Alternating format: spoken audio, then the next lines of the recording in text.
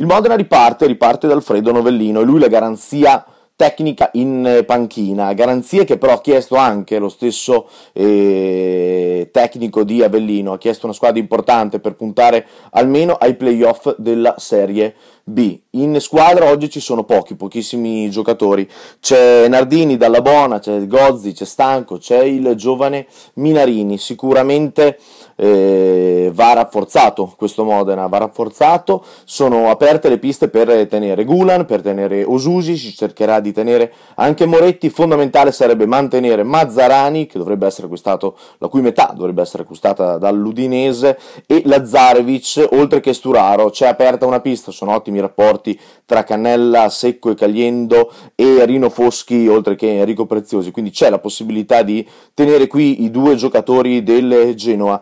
In porta si parla di Sekulin, che potrebbe essere colui che va a fare coppia con Manfredini, già pronto, a mio parere, al ruolo di titolare in eh, Serie B. La grande incognita è la punta, eh, sostituire Ardemagni con uno, due, tre giocatori, una prima punta e una seconda punta, non sarà cosa facile, faceva reparto da solo Matteo, Matteo che andrà o alla Sampdoria o al Torino oppure volerà in Premier League, queste per il momento sono le opzioni più eh, vicine. Con chi lo si potrà sostituire?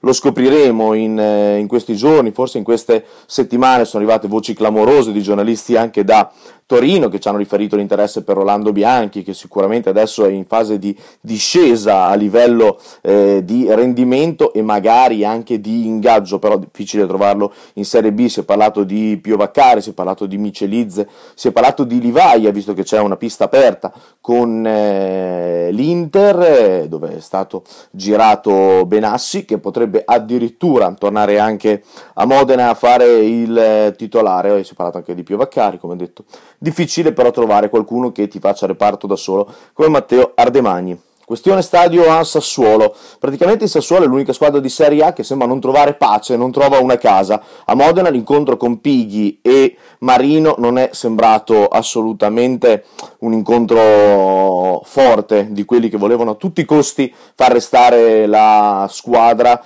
sul terreno modenese. A Reggio farebbero salti di gioia, ma oggettivamente i problemi ci sono. Li ha sollevati la questura, li stanno sollevando anche i tifosi che si sentono sballottati, i tifosi del Sassuolo tra Modena e Reggio. Non li vogliono nemmeno a Reggio perché la Reggiana in quel modo praticamente scomparirebbe. Tra l'altro è vicinissima purtroppo per la tifoseria reggiana alla Lega eh, Pro seconda divisione. Staremo a vedere quello che succederà eh, domenica. L'impressione è che presto, prestissimo Squinzi prenderà una decisione e si andrà a firmare per il città del tricolore.